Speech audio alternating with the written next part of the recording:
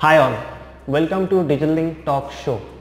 Today we are living in this world of unprecedented change where anything that is getting innovated yesterday become obsolete tomorrow.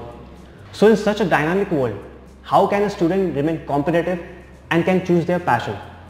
So to help them in this career, we came out with Digital Lync Talk Show where we'll try to explore different facets of every technology and let people aware about it. What's going on in the industry of technology. So in order to get the ball rolling today, we have invited a very special woman from our organization, Nitisha. She is not only the COO and her job role is not limited to just making the operation go smooth, but she is very visionary, caring and the woman who make the things go on on the floors. So I'd like to welcome Nitisha for the first. Hi Nitisha. Hello, Ishad. How's your day? It's really good, thank you. I hope uh, we'll able to make some really interesting topics discussions today with you. I would like this interview to be really frank and very candid so that people feel really connected to this. So the first question that I would like to ask you is, do you feel excited when you wake up in the morning? Um, I have mixed feelings for this because I sometimes feel sad. I wake up and I realize that, you know, I'm in my country and that makes me excited. And the second thing is, I actually feel sad when I realize that, you know, my, my kids are growing up here and one day they have to reach their goals and then go to engineering college for their further education.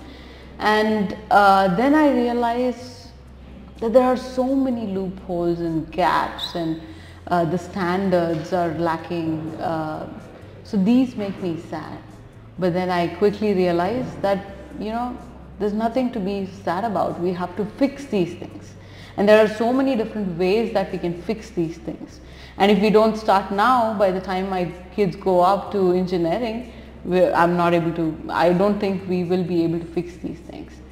And it also saddens me that there are so many other countries in the world which offer engineering uh, with much less infrastructure and much less um, educational population, uh, but are successful.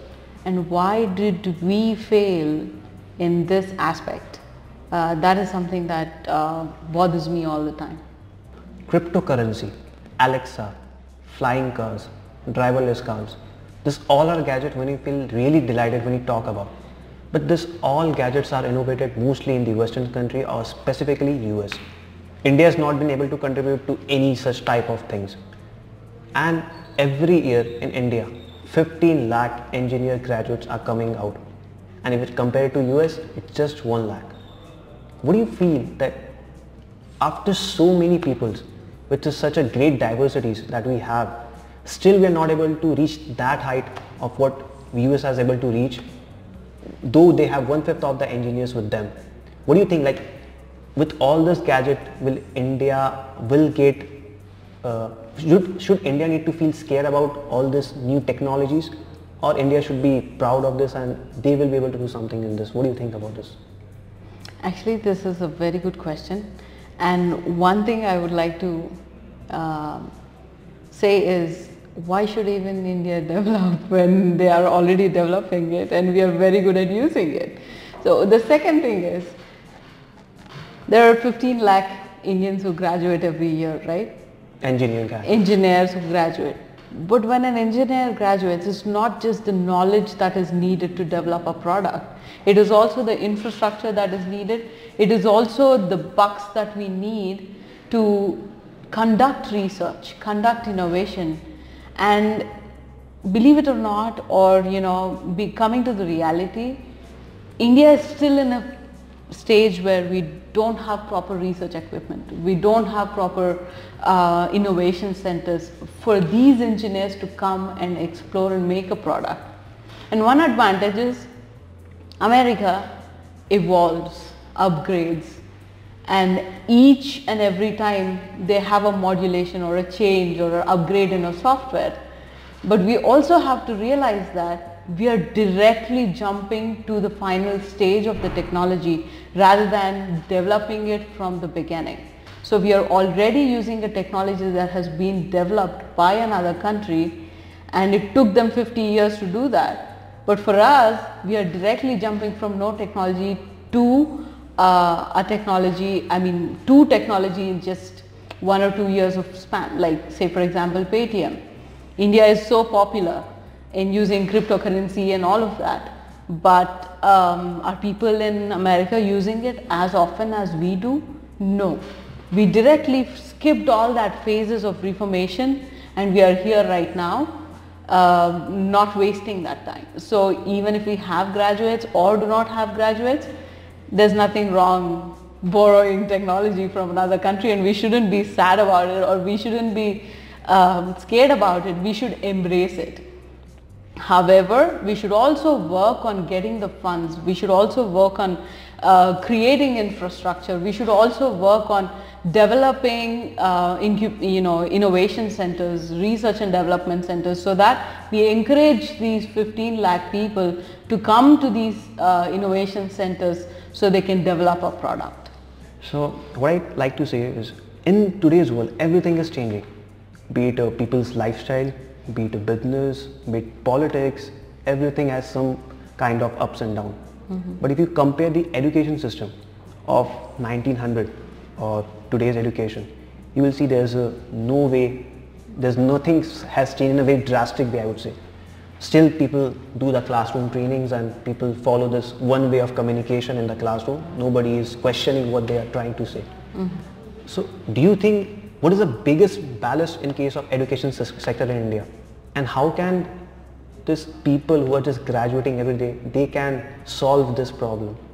I think I have uh, shooted out a lot of question to you nested in one way but would appreciate if you can just take a shot on this.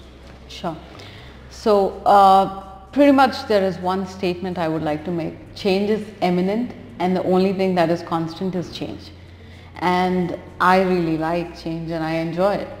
But then as you said, the education system has not followed change at all. Um, maybe a little bit of change, but not too much to the extent that the world is changing.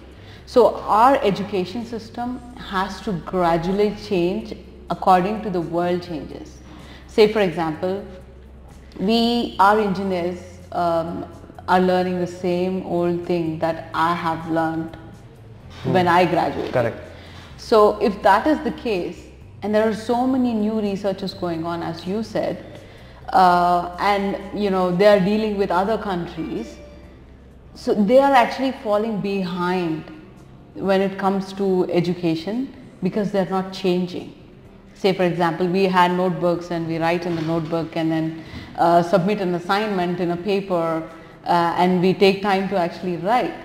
But today's world, we don't even need writing. Most of the western countries, they actually type in uh, a computer and submit that electronically. But how many Indian colleges do that?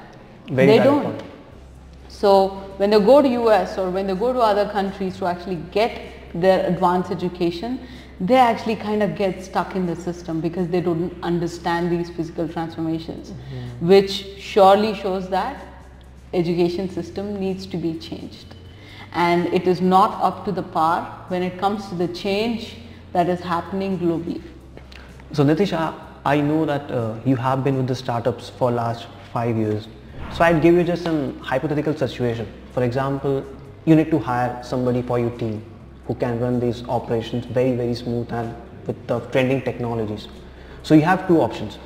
The first is you can hire a 24 years old lad from IIT, Kharagpur, that's the best in this India, or a 27 year old young graduate who has already delivered successful innovative projects in the companies and so whom would you like to choose? So what's the reason behind you for that? Can you just say? Yes, I would hire the lateral. I mean the second person okay. that you have mentioned, uh, not the IIT guy. Okay. Uh, I'll give you one basic reason. I need performers and I don't have time to train. In a startup, you don't have time to train, you don't have enough resources to train, you don't have enough money and you know uh, time to spare to actually give that lad enough training they need. And the second thing is, I don't care about the brand. IIT is better than a normal uh, university because it has better infrastructure, better professors and better so many things. So, however, the second guy who did not have all these betterments is still able to perform or make a product for me. That means he has overcome all these infrastructural, in you know, uh, physical uh, infrastructural needs.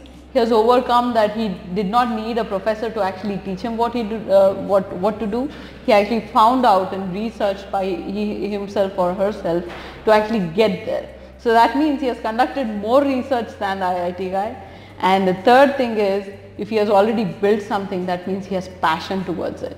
So I would rather hire the second one who's pretty ready to develop a product for me rather than an IIT guy and get him trained for about six months or so. So, so I think uh, this is a very valid point. We can see that now that trend is very changing. Not only in the startup, people don't value brand education and people value about the work, what they have done and what they have delivered before. So that is what today people are looking for and all the HRs are looking out for such candidate.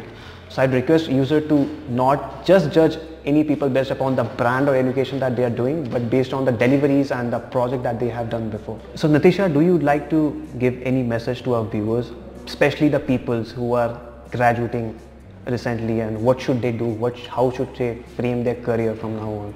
Any message from them? Actually, before you graduate, make sure that you have some practical exposure and make sure that you research and learn by yourself because we as Indians, we are so used to spoon, getting spoon fed. So stop the habit of getting spoon fed, be responsible for yourself and then try to do something so that when you walk into an interview, you have something to show. I or many other companies outside are more interested in what you have done rather than what you have studied or where you have been to. Uh, like you said, you know, I don't care if you are an IITian, but I would rather care if you have developed a product already by yourself without any formal uh, training by someone. So Nitisha, thank you. Uh, the things you shared with us and whatever perception is, I think it's a very visionary way of thinking about the future India. And I would really appreciate thanking for joining us on the show. And I would like to give a message to our viewers that you can see the way today's startups are performing and it's very high time for you uh, to start getting upskill or choose whatever in which you can excel yourself. So just be a part of the revolution, hit the ground running with whatever you can and just be adaptable and try to make India proud of what it is today. So I hope to see you in the next episode with new technological themes. Till such time, be there with us.